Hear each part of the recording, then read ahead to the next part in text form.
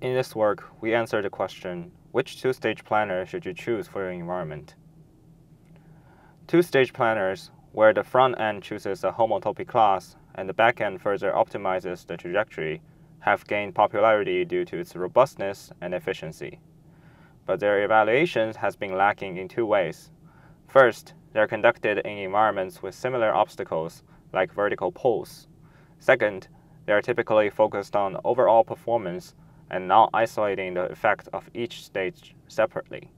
Both shortcomings make identifying the best two-stage planner for a new environment difficult.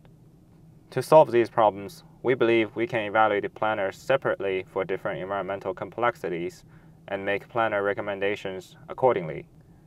To this end, we propose an open source two-stage planning stack to easily integrate new front-end and back-end planners. Two new environments to vary environmental complexities. And lastly, an evaluation criterion called ECS that gives a unique signature to each environment and identifies the likely performance of planners.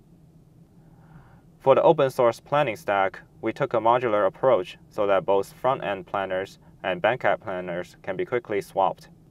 We select five front-end planners with different levels of fidelity and two back-end planners with different assumptions on the vehicle dynamics.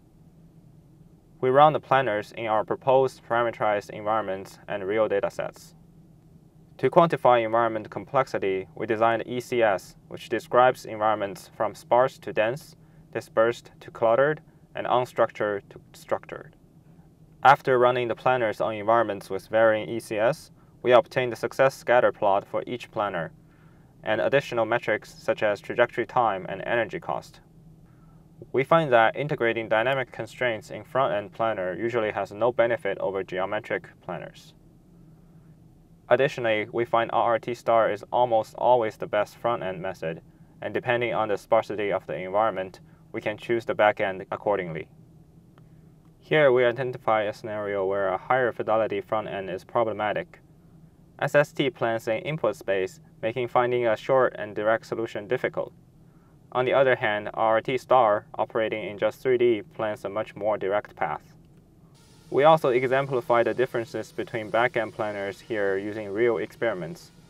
Gcopter does not use front-end output and only considers polytope constraints, but ALTRO tries to follow the reference trajectory. Therefore, in more cluttered scenario, a less dynamic front end makes ALTRO more likely to fail than Gcopter. We believe using the ECS is a first step for planner selection for the community.